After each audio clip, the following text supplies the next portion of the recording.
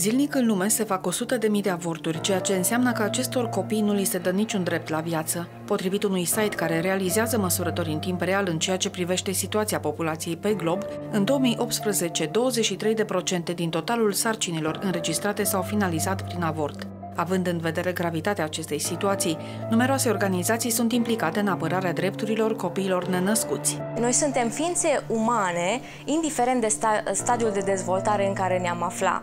Încă de la începutul concepției uh, este prezent un nou cod genetic, diferit de al mamei, diferit de al tatălui. Consilierea femeilor aflate în criză de sarcină este o modalitate de a susține și proteja viitoarele mămici. Femeile care trec prin uh, această criză sunt afectate în mod emoțional, psihic și noi trebuie să le întindem o mână uh, de ajutor. E foarte important să reducem anxietatea, să stabilim o relație cu ele și să le ajutăm să exploreze uh, soluțiile. Statisticile arată că în anul 2018, la fiecare 33 de copii născuți, alți 10 au fost avortați.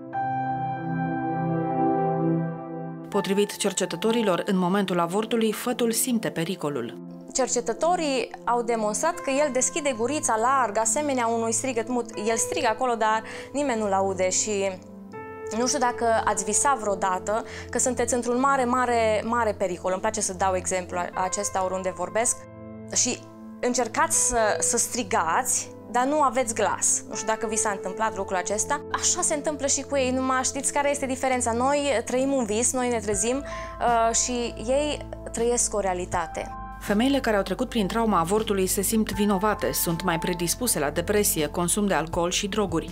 Ele au nevoie de ajutor. Noi le spunem că Isus este cel care poate ierta orice păcat, chiar și păcatul uh, avortului. Apoi ele trebuie să ierte pe cei din jurul lor, pe cei care au fost implicați în uh, această acțiune pe care ele au făcut-o, în această alegere pe care ele au făcut-o, să-și ceară iertare și să primească eliberare de la Dumnezeu.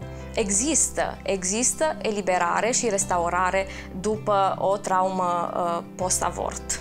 În centrele de consiliere, femeile găsesc sprijin și află că Dumnezeu este cel care le întinde o mână, iar ele pot fi vindecate și eliberate de vinovăție.